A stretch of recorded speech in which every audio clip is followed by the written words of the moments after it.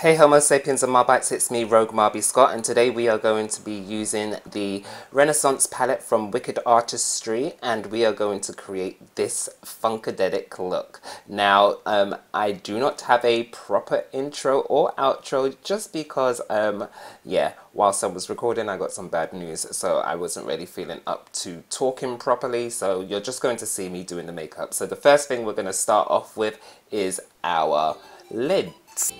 So as you can see, I am preparing my lids for my eyeshadows and I'm using the shade Natural from the LA Girl Pro Concealers. And then as you can see, I'm just blending it up towards my brow bone and just leaving it there above my crease. And then we're going to go in with our first shade, which is Crivelli Blue. And I'm using a really small, thin tapered brush from Morphe. I'll um, put that in the description box below. And I'm I'm just making sure that the opacity of this shade is just like wow. Then I'm going into Clouet and I'm just going to carefully sketch out where I want it to begin before I start blending it up. So as you can see now, I'm blending it up into the uh, Crivelli Blue and then I'm just going to create like a blend where it looks really orangey just because I want this to look very funkadelic and whatnot. Then I'm going to go back into the uh, Crivelli Blue just because I've lost it a little bit where it's a bit murky. So I'm just going to go back in with some Crivelli Blue right now and then I'm going to use some of the leftover Clouet on that brush just to lightly blend. Now I'm going to cut my crease so to say um, but I'm going to create like a wavy pattern or like a cloud pattern with the concealer that I'm using and once I'm happy with that I will move on to using our next shade.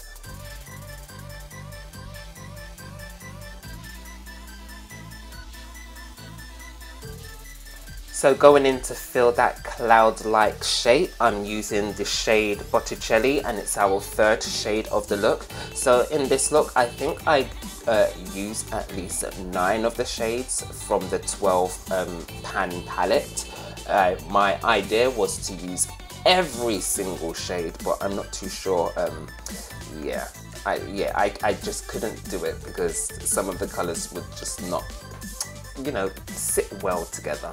Anyway, going back with my concealer to cut that crease again or cut just cut a pattern in and once I've um, just kind of outlined where I want it because I want Botticelli to be a rim around this next shade that I'm going to do so that's why I'm leaving obviously that space there. And um, I'm just going to use that really thin small um, concealer brush. And then once I've done that I'm going in with the shade Gazol, Gazol, Gazoli yeah Gazoli sorry some of these names are a bit hard for me to pronounce so yeah just bear with me. I'll throw them up in the description and on screen as well.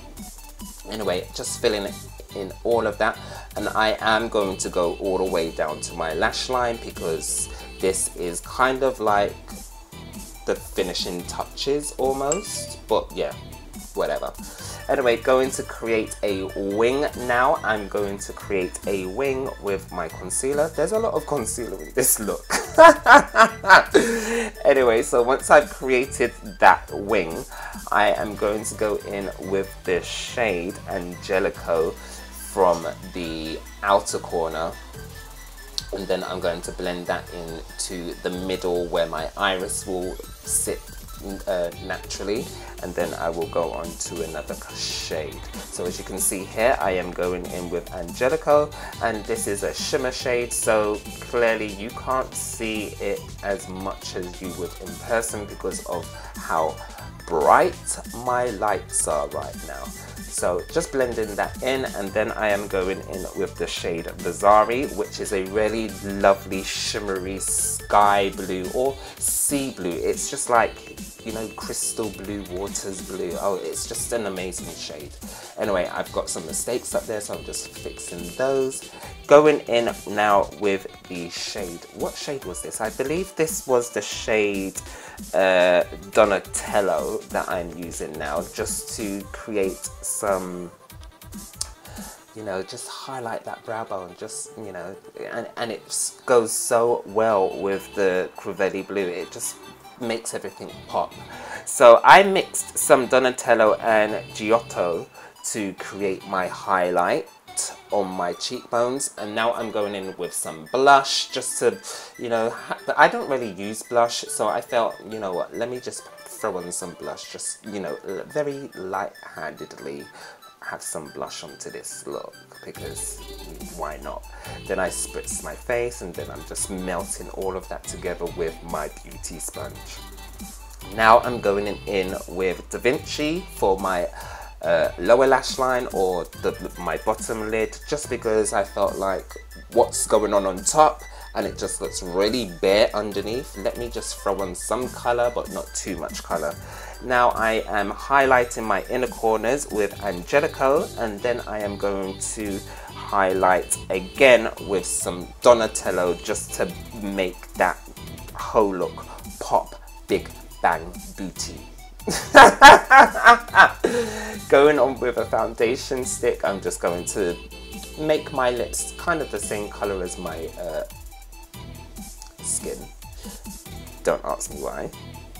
And then I am going to highlight on top of my uh, lips just a little bit of highlighter, not too much, just because I want my lips to kind of look nude and I want it to match my skin color more than actually being a nude skin, um, a nude lipstick.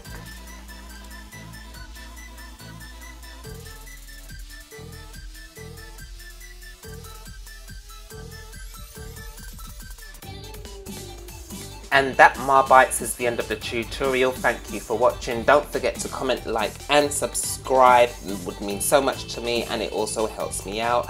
And I'll see you in the next video. Bye. Scott.